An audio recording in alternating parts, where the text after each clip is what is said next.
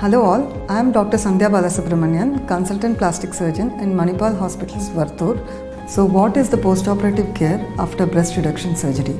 Mammoplasty or breast reduction is done for heavy pendulous breast in women with lot of shoulder pain and it is one of the most gratifying cosmetic procedures. Recovery and postoperative care after this procedure is straightforward. Following the surgery, there will be a dressing along the suture line and a surgical bra is worn by the patient.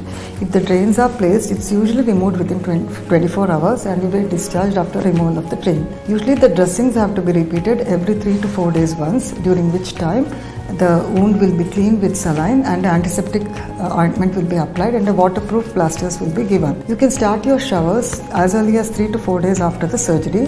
The dressings can either be changed in the hospital or you, you could also do it on your own in the house. All the sutures put in breast reduction surgery are dissolvable one and need not be removed. A surgical support bra is to be worn for 6 weeks and helps in healing of the breast from within. You can start small works after the surgery within a week and increase the intensity of the walks in 2 to 3 weeks time. But however strenuous exercises upper body weight lifting and certain sports like badminton you need to wait for 6 weeks for resuming such activities.